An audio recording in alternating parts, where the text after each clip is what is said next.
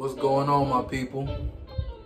It's your boy Smooth Blaze, and I would like to welcome you to part four, week 15 of A Moment of Clarity. Now, before we get into this video, please make sure you like, comment, and subscribe to my page. Also, if you have any input or insight, please look below at my email address and send me whatever uh, feedback you would like to give me. Now let's get into it. On last week, we discussed the importance of networking and determining what is personal and what is business relationships. Now, on this week, we'll still be coming from the Harlem Nights movie, and the theme for this week will be it's not how many you shoot, it's who you shoot. Meaning that if you're in the military, and even if you're in a situation where you have a lot of things going against you, if you can get that main target, that main person, it could change the whole dynamic of everything around you. Because it's not about the amount of people that you seek and destroy, it's about that one person. Now, let's let's take a step back and focus on how to evaluate what type of relationships that we have. Are relationships that I'm dealing with more personal or are they more business related? We have to know these things so we know how to navigate through life. Now, before we understand how to evaluate personal and business relationships, we have to understand what evaluate means. First definition to judge or to determine the significance, worth, or quality of something. Two, to determine or to set the value of an amount of or praise. Third definition to determine or fix the value of, of, of something.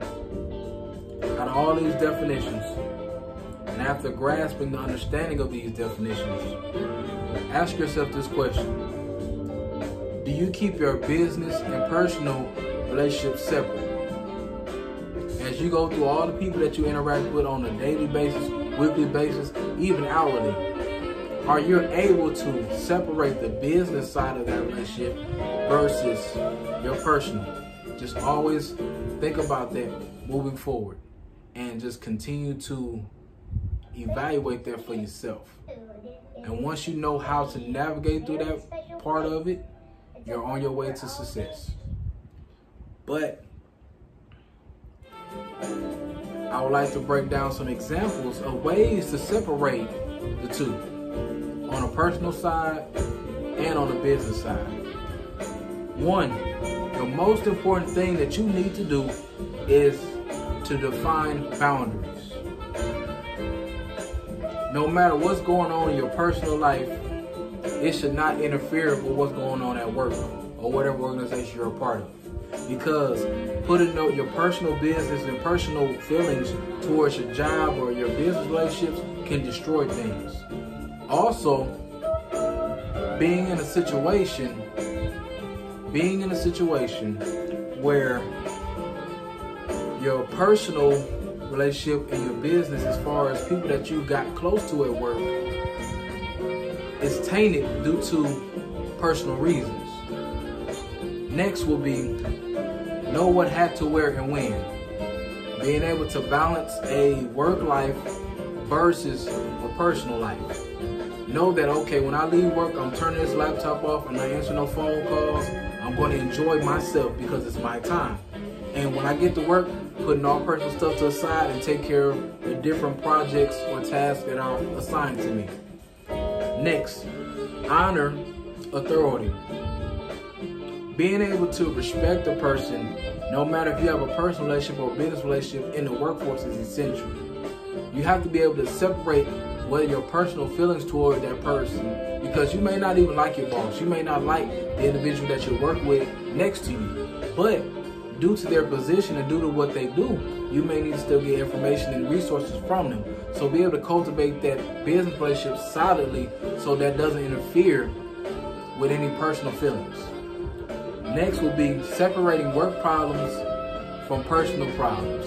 As we stated earlier, the importance of not intertwining your personal issues that you deal with and putting on people at work or even bringing your work issues home because it destroys those type of relationships that you have. Leaving the office.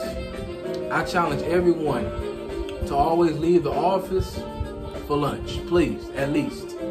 You have to get away from that environment so you get a brief fresh of air so that you can come back and focus on what you got to do.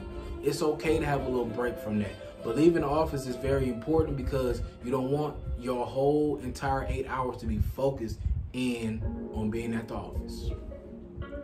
Now, the last thing, establish, establish a work-life balance. Meaning, I should not be seeing you at work 12 hours every day unless it's required for you in your schedule. I should not see you not coming to work at all or coming when you feel like it, which does not help your reputation at whatever organization you represent. So you have to have a balance. In the summertime, when you worked hard all year, take time out to get away from the office. Use your PTO. Use these things so that you can have your balance in your life as far as work and separating work from personal.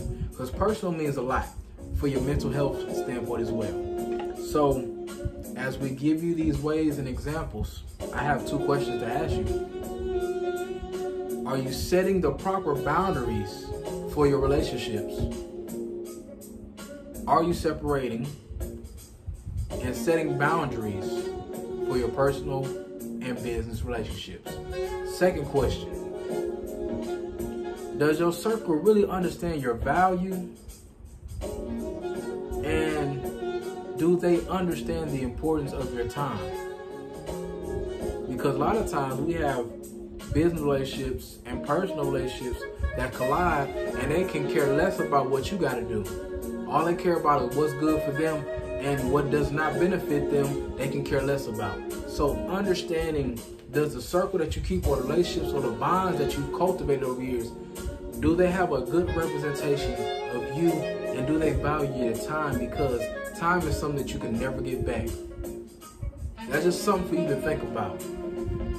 So, as we come to a close, I would like to say thank you for taking time out to show your boy a little love. Please make sure you like, comment, and subscribe, and make sure you share this video as much as, much as possible.